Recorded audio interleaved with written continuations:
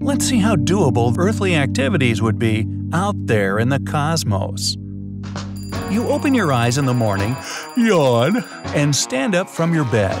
But standing up means having an up to stand to.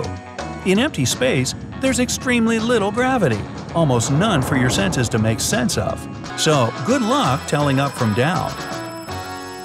The universe is mostly empty space between stars and other objects. But in some areas, matter is pressed so densely that it forms black holes. And if you pass the event horizon, you're crossing a border where mornings simply do not exist because time doesn't pass at all. You wouldn't know it though. If you accidentally fell into a black hole, the difference in gravity between your head and feet would be so immense your body would get stretched out like a spaghetti noodle. Yes, this process is actually called spaghettification. Um, pass the meatballs, please. And forget about yawning on your new home. Minus the obvious no oxygen thing, you couldn't find a place with the right pressure for it.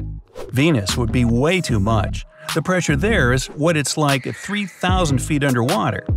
Mars wouldn't give enough. It's less than 1% of the pressure on Earth. Even the air outside a plane at cruising altitude is 40 times thicker, and that stuff's unbreathable. Hey, Mars does have some strangely Earth-like features. Look, there are faces, fish, and spoons on the surface. Oh, never mind. Those are just oddly shaped rocks. Now, toothbrushing wouldn't be much different if you don't mind tiny bits of toothpaste floating around you. But showering in zero-G is challenging. The water wouldn't flow down to wash the soap off you and into the drain. You need gravity for that. Astronauts use wet towels to wipe their bodies clean. They don't even have sinks on the ISS or other spacecraft. A rogue planet with a romantic name, hmm, SIMP0136, seems to have a magnetic field 200 times stronger than Jupiter's.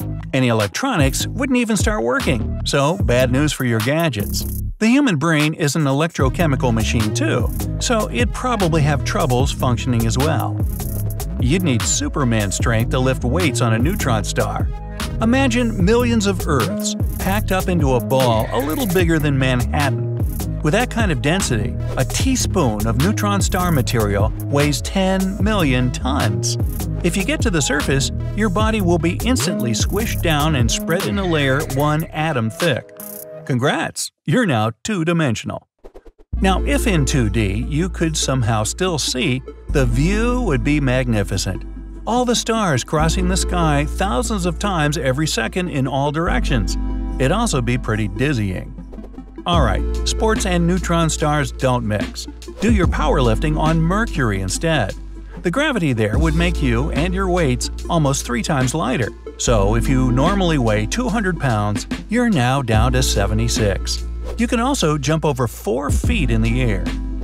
Don't practice your jumping on Comet 67P though. Its gravity is so weak, your jump would surpass its escape velocity. That's the minimum speed you need to escape the pull of gravity, like rockets blasting off Earth. On this comet, you jump up and go floating off into space. Golfing on the moon would be fun. Your ball would fly for miles before the moon's weak gravity brought it back down. Better not try teeing off on Neptune. Methane winds blow 1200 miles per hour, almost twice the speed of sound. Plus, there are no signs of a surface to make holes in, so a golf course would be more like a golf pool. Same problem with building wind power stations on the planet HD 189733b. Great energy potential in winds blowing at 4,000 miles per hour. at Chicago to New York in about 12 minutes. But it rains glass there, so best to just stay away from this one. Better avoid dancing in the rain on Venus too. Drops of sulfuric acid, about 20 times hotter than the air you breathe, falls from the skies.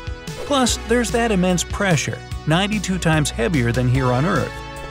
Jupiter's moon, Io, looks kind of like a cheese pizza, don't you think?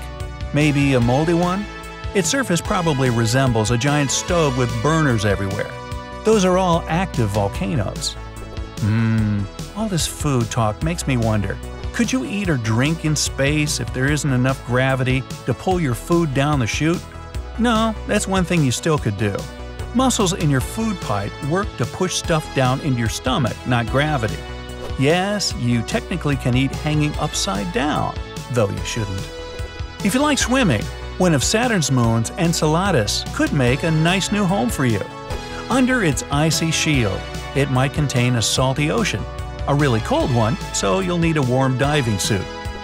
Double that up for swimming in the lakes of Titan, Saturn's largest moon. They seem to be made of methane. Or you could settle down on Saturn's other moon, Pan.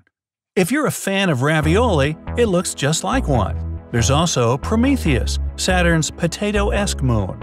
Imagine seeing all these weird shapes in the night sky from the planet's surface.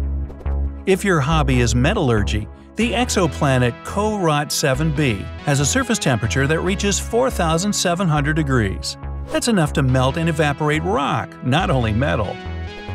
Kelt 9b might even be too hot for such a hobby.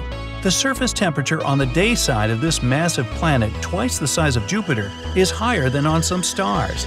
It can reach 7,800 degrees. Our own Sun is only a couple of thousand degrees hotter. If you like diamonds, exoplanet Janssen is one third of the stuff. This diamond planet would cost around 27 nonillion dollars. Though, having traveled 40 light years from Earth, you could surely ask for a discount.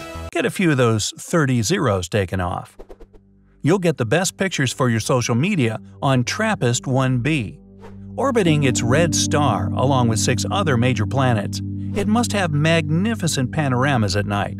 With up to six moon-like objects in the night sky, you'll be swimming in likes.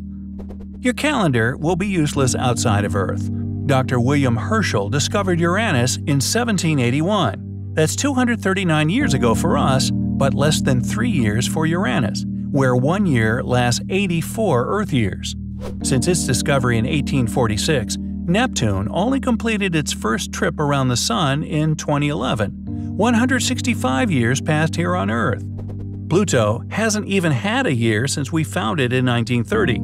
That won't happen until the year 2178, 248 Earth years later. Some exoplanets have one year almost equal to a million Earth years. The good thing? They don't have to file their income tax return so often. Your watch won't make much sense outside of Earth's 24-hour cycle either. The shortest day in the solar system is on Jupiter and lasts less than 10 hours. The longest day is on Venus. It's 116 Earth days. If you're looking for some familiarity, head to Mars. Its solar day is 25 hours, not too different than Earth's. If you wear glasses or contact lenses, the universe has the most powerful one you could imagine – a gravitational lens. A massive object bends space-time around it and refracts light rays, just like other optical instruments such as glasses and microscopes. You can look at a star billions of light years away and see four identical stars around it. But those are the same star. Its light is just being bent and quadrupled around it. You could search for your new home forever. Experts think the Milky Way galaxy alone has up to 400 billion stars, most with multiple planets orbiting them. And there are still billions of galaxies in the universe. So just imagine how many extreme and bizarre places are yet to be discovered. Good luck house hunting out there. It's a big market that's only getting bigger by the second.